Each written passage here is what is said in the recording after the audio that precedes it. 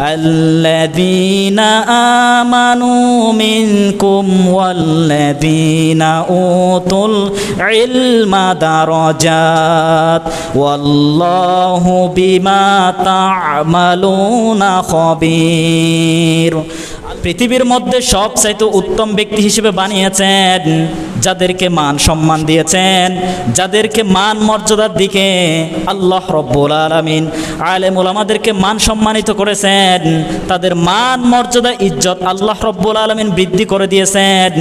কোরআনে কারিমে আল্লাহ পাক জানিয়েছেন, আল্লাযীনা আমানু মিনকুম ওয়াল্লাযীনা উতুল ইলমা দারাজাত ওয়াল্লাহু বিমা তা'মালুনা খবীর আল্লাহ পাক বলেন যারা ইমান আনয়ন করবে এবং কোরআন রিসার্চ করবে, হাদিস রিসার্চ করবে, বিশ্বনবী হজরত মোহাম্মদ সাল্লাহ আলাইহি ওয়াসাল্লাম, ওনার জীবনাদর্শ এবং জীবনের যত নিয়ম পদ্ধতি রয়েছে, এগুলা সম্পর্কে জ্ঞানে অর্জিত হবে।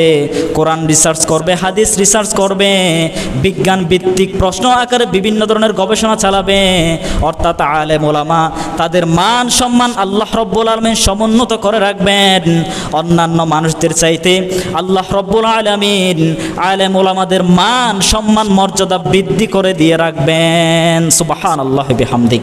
অর্থাৎ আল্লাহ রব্বুল আলমিন হাজার হাজার মানুষের মধ্য থেকে যারা কোরআন রিসার্চ করবে, হাদিস রিসার্চ করবে বিশ্বনবী হজরত মোহাম্মদ সাল্লাহ আলাইহি ওয়াসাল্লাম ওনার নিয়ম পদ্ধতি তরিকা, এগুলো নিয়ম অনুসারে তার জীবন যাপন পরিচালিত করবে এবং রসুলের সন্ন্যাহ রিসার্চ করে মানুষদেরকে জানিয়ে দিবে।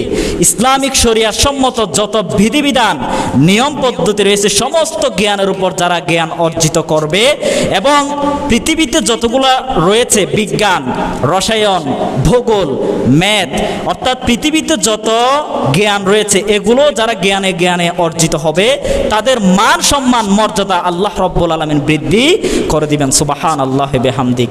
কিন্তু আজকে আমরা আলেমদেরকে মর্যাদা দিতে পারতেছি না।